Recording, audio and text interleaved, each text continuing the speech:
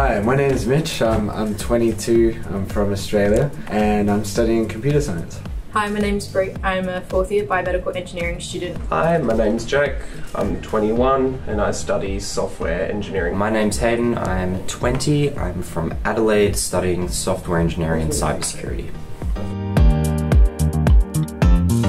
I wanted to do this program for the cultural uh, experience and exchange and I thought that across all different institutions, every institution or university can give a different perspective. And I think that's really important in the technology and engineering field and in a lot of fields to gain that understanding of how another culture or how another just institution might do a similar thing and give you a, a broader depth of understanding. I've always loved travelling and I've always wanted to do an overseas program with uni and this was a really short one and I absolutely loved the opportunities that it provided and the short courses were really right up my alley and I was really excited about that.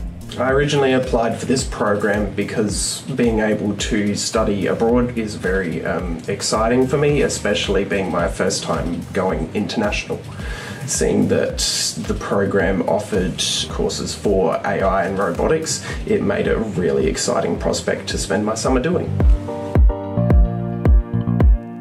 I have two best memories from the program so far. So I really loved all the cultural visits um, and getting to know all the students here. And I've also absolutely loved um, the little project we've been working on. It's right down my alley and I've learnt so many new skills that I can apply later on to my degree and it's just been amazing. My favourite memories of the program would be definitely the parties during the first week and probably going out travelling with everyone um, during the week whenever and going into town. Educational. Exciting. Culture. And all around just fun.